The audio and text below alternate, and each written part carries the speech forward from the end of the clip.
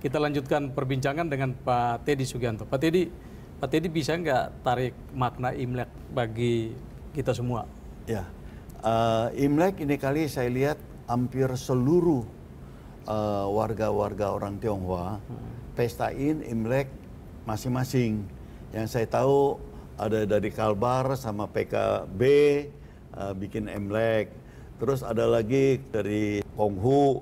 Kita orang masyarakat orang yang di Jakarta sama berikut yang lain tanggal 30 ini juga ada Imlek bersama. Hmm. Mungkin kita juga mengharapkan Pak Presiden Jokowi sama menteri-menteri bisa hadir. Tapi kalau sebetulnya Imlek itu kan pestanya kan seremoninya. Itu pestanya. Ya. Jadi terus, terus terang kalau Imlek sebetulnya kalau deket di tradisi ininya dia lebih penting di keluarga, Pak. Hmm. Di keluarga kumpul keluarga semua, itu malam hanya makan kumpul beramai-ramai. Uh, jadi dari mungkin dari ada engkong, ada bapak, ada anak, ada cucu, kumpul beramai-ramai sambil ucapkan uh, kyonghi wacai. Kalau anak-anak minta angpau, uh, kalau orang tua kasih angpau. Uh, sebetulnya itu cuma satu itu aja. Jadi kalau yang lain katanya libur segala ini ini itu cuma satu tradisi aja pak. Uh, jadi saya harap kalau ini kali karena ke, apalagi kebetulan pas lagi mau Imlek-Imlek ini musibah kita ke, kebanjiran orang Jakarta juga banyak. Hmm. Jadi sebelum ini juga kita mengharap kumpulkanlah duit-duit ini kita bagi kepada saudara-saudara kita yang perlu. Hmm. Itu saya rasa lebih penting dari kita uh, pesta untuk kita sendiri gitu. Ya, jadi uh, berbagi untuk berbagi orang, orang lain kita ya. ada yang kita ya. perlu. Itu sebenarnya inti dari Imlek juga begitu sebenarnya. Sebetulnya ada ke sana juga. Uh. Uh. Jadi makanya itu sebetulnya kalau yang lebih ini lagi mungkin dibagi angpau ke seluruh kampung dia, Pak. Kalau ini, kalau yang yang ekonominya lumayan, dikumpulin semuanya dia punya kawan-kawan uh, atau adik-adik ya bagi angpau. Angpau itu nggak perlu besar berapa, ya. besar kecil berapa.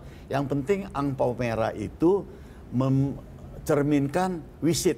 Uh, itu aja yang di, hmm. sebetulnya. Eh, kalau kita lihat amponi kan kita kasih seketika nih. Uh. Taruhlah dalam dalam amplop itu angponya ada 500 ribu. Uh. Selesai nih. Tapi uh. mungkin yang diharapkan oleh masyarakat pemberian itu tidak dalam bentuk setelah angpo mungkin ada penciptaan lapangan kerja atau memberi kesempatan berusaha seperti itu mungkin ya, menurut saya, Pak jadi gimana? Itu yang di China, kalau di, dulu di Tiongkok, hmm. ya begitu. Itu namanya kan pas potong padi, Pak. Yeah. Uh, jadi itu namanya chunjie.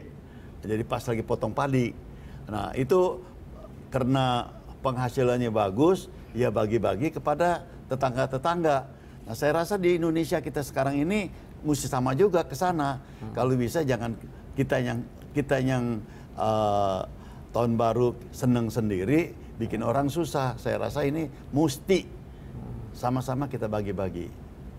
Uh, tapi inti terus terang sih kayak ini kali bukan saya lihat bukan inti aja.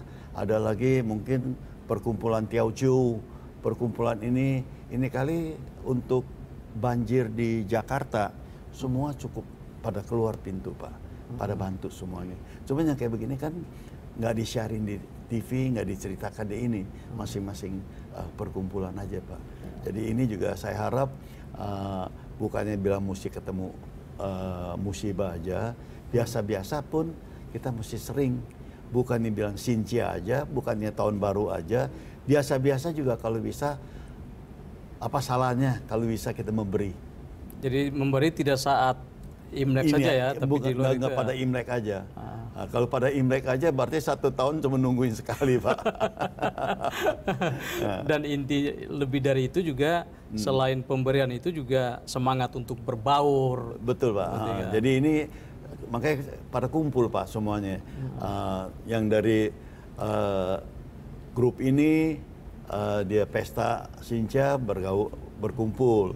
Terus yang dari ini semua rata-rata sebetulnya uh, pesta itu cuma hanya berkumpul ini aja. Ya. Dengan saling mengenal budaya ini kan uh, jarak kecurigaannya kan makin berkurang ya, makin lebur ya. Itu Pak. Ya. Saya harap uh, tahun ini uh, selain dari orang Tionghoa memang pesta Imlek, Tapi Imlek ini kalau bisa kita rangkul seluruh uh, adik-adik kita uh, untuk bersatu demi negara kita. Ya. Itu yang lebih penting. Pak Teddy terima kasih banyak atas terima kesempatannya. Kasih. Sukses ya. selalu. Uh, ya. Sekalian juga saya Kyungki kepada seluruh kawan-kawan uh, kita di Indonesia. Kyung Hee Fachai. Demikian spesial interview, sampai jumpa.